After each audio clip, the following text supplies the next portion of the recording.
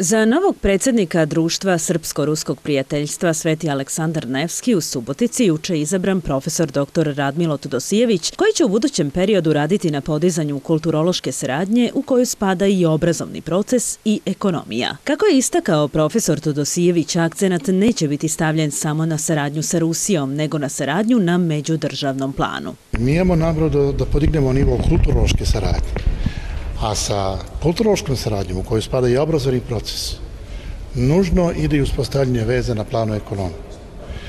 Lične veze su danas u svetu, a i kod nas, od najćeg značaja za biznis. A e, učenje jezika, čitanje literature, jedna retrospektiva, e, nije ništa drugo nego e, poruke i sećanje na budućnost.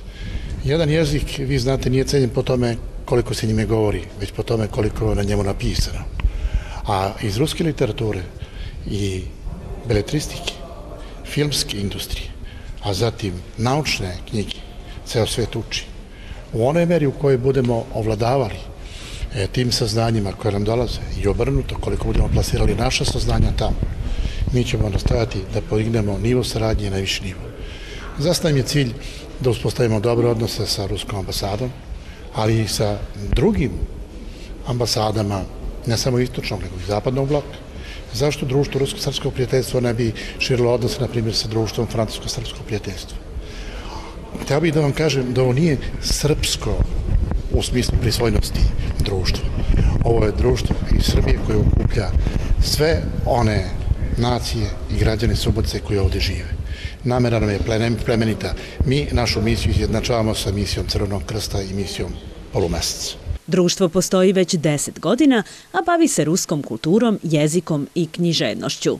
Postavljeni su i novi ciljevi, a oni se odnose na unapređenje ekonomskih odnosa sa Rusijom, istakao je Golub Karaman, predsjednik upravnog odbora ovog društva.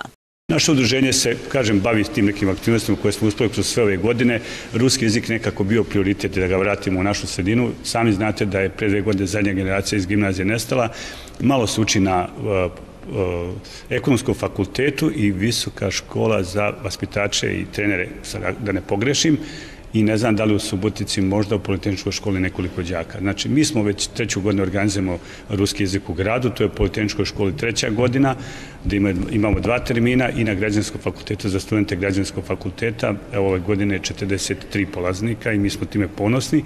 Naši studenti kad završe građanski fakultet, kao diplomi inženjeri nalaze posao u Rusiji, dolaze odatle sa, sa veoma lepim impresijama i prenosu na naše mlade studente koji, evo, kažem, ove godine nastavljaju takvu priču. Društvo broji oko 400 aktivnih članova, a 3. juna organizovaće jubilej, desetogodišnjicu svoga rada. Svečanosti će ovom prilikom prisustvovati i gosti iz Ruske ambasade i Rusije.